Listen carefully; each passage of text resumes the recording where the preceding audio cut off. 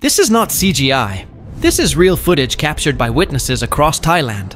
In the early morning of October 26, 2025, the night sky was silently torn apart by this brilliant fireball. But it didn't stay silent.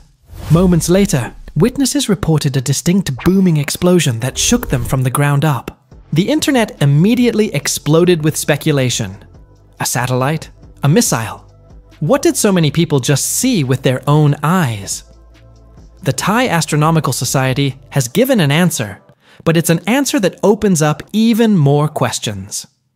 The truth, it turns out, is infinitely older. Scientific proof confirms this was a bolide a piece of the Taurid meteor shower. But this wasn't just a random shooting star, it was a relic.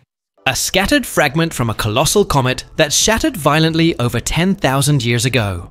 The light that just seared the Thai sky began its journey before human history was even written. Right now, our planet is flying directly through the haunted graveyard of this dead comet. A Vastansian stream of debris. This is why we're seeing these brilliant Halloween fireballs.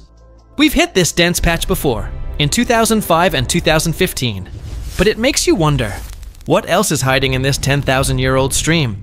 The show isn't over. We'll be in this stream until early November. But this leaves us with chilling questions.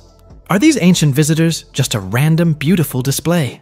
Or are they a warning in a much larger, predictable cycle? If a piece this size can create such a boom, what would a larger fragment do? If you were one of the witnesses, what did you feel in that exact moment? Let me know in the comments.